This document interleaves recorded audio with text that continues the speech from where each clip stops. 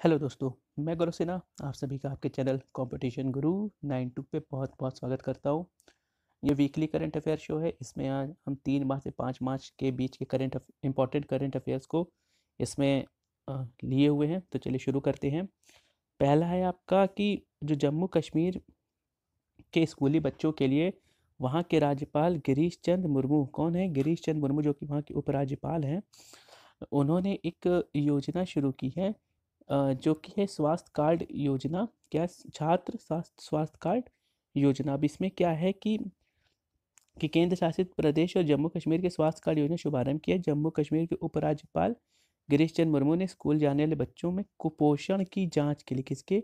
कुपोषण की जाँच के लिए इस योजना की शुरुआत की गई। तो इसका उद्देश्य क्या है? कुपोषण की जाँच करना। ठीक है?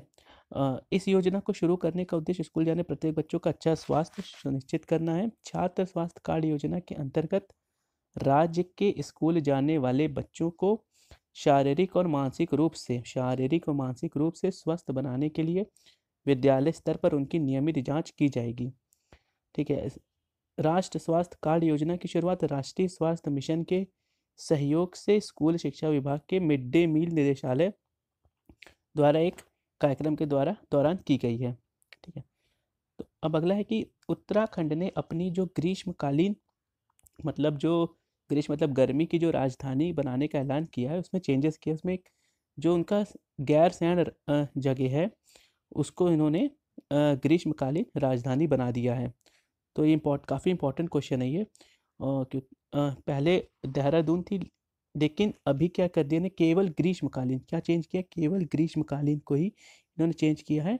गैरसैंड को राजधानी बनाने का ऐलान किया है। अगर उत्तर, उत्तराखंड के मुख्यमंत्री की बात करें तो त्रिवेंद्र सिंह रावत हैं और राज्यपाल की बात करें तो बेबी रानी मौर्य हैं, ठीक है?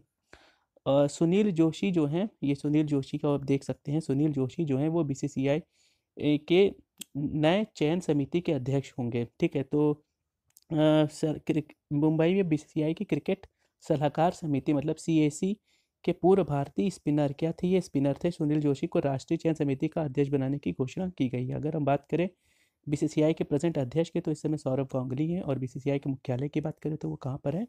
वो मुंबई में है। सरकार ने अजय भूषण पांडे बनाया नया वित्त सचिव। सरकार ने अजय भूषण पांडे को नया वित्त सचिव बनाया है। केंद्र सरकार वर्तमान ये समय क्या है? ये समय ये समय राजस्व सचिव है। और ये किसकी जगह लेंगे? ये लेंगे वित्त सचिव राजीव कुमार की जगह ये लेंगे। राजीव कुमार की जगह कौन लेंगे? अजय भूषण पांडे लेंगे। लेकिन इस समय करंट में क्या है? राजस्व है। अब क्या बने गए हैं ये? वित्त सचिव बन गए हैं। राष्ट्रीय सुरक्षा दिवस चार मार्च को होता है। राष्ट्रीय सुरक्षा दिवस जो है वो चार मार्च को सेलिब्रेट किया गया है। नेशनल सेफ्टी डे आप इसका लोगो दे सकते हैं। फिर है पुणे 2000 हाँ ये पुणे में 2021 में होने वाली एक आठवीं वर्तमान कांग्रेस की मेज़बानी करेगा। इस बार वर्तमान विज्ञान कांग्रेस की मेज़बानी कौन करेगा? पुणे करेगा, ठीक है? अगर हम बात करें कि इसकी विषय, इसकी थीम क्या होगी? इसकी थीम होगी science and technology for sustainable development with women empowerment. 2021 Indian science congress association की थीम क्या होगी? विषय क्या होगा? Science and technology for sustainable development with women empowerment होगा।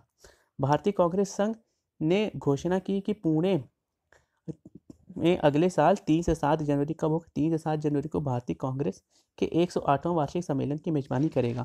तो इसमें याद करने वाले तथ्य क्या क्या है कि सबसे पहले इसका विषय क्या होगा? Science and technology for sustainable development with women empowerment इसका संस्करण कौन सा है? एक सौ आठवां है। कहाँ होगा? पुणे में होगा। अगर हम बात करें इसका मुख्य, अगर हम बात करें कि इंडियन साइंस कांग्रेस एसोसिएशन का मुख्यालय कहाँ है? ये कोलकाता, पश्चिम बंगाल में इसका मुख्यालय है। बांग्लादेश के प्रसिद्ध बौद्ध धर्म गुरु शुद्धानंद महत्रो का निधन हो गया है। ठीक है, इसकी इनकी फ़ोटो नहीं अवेलेबल हो पाई है। वर्ल्ड हियरिंग डे तीन मार्च को मनाया था। इसकी विषय क्या है? इसका थीम क्या है? Hearing for life, don't let hearing loss limit. आप इसकी थीम को देख सकते हैं। ठीक है फिर है विश्व उत्पादकता कांग्रेस, विश्व उत्पादकता कांग्रेस या वर्ल्ड प्रोडक्टिविटी कांग्रेस का उन्नीसवां संस्करण इस साल छः से आठ मई तक कर्नाटक के बेंगलुरु में आयोजित किया जाएगा। विश्व उत्पादकता कांग्रेस भविष्य की उत्पादकता ग्रोथ को आकार और उत्पादकता विकास के लिए दुनिया आयोजित किया जाने वाला सबसे बड़ा सम्मेलन है। तो इसमें याद करने वाली बात यह है कि जो वर्ल्ड वर्ल्ड प्रोडक्टिविटी कांग्रेस है, उसका आयोजन कहाँ पे होगा? वो होगा कर्नाटक के बैंगलोर में। कब होगा? छः से आठ मई में तक होगा और संस्करण कौन सा? उन्नीसवां। ठीक है ये इसका फ़ोटो देख सकते हैं। सरकार ने दरवाजे तक डीजल पहुँचाने के लिए फ्यूल हम सफ़र ऐप का लॉन्च किया है।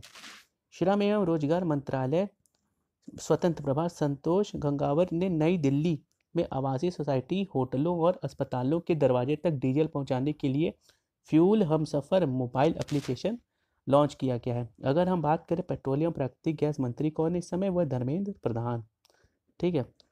थैंक यू अभी के लिए इतना है और अगर सब्सक्राइब नहीं किया तो मेरा सब्सक्राइब कर ले और लाइक कर दें और आगे अपडेट के लिए। तो थैंक यू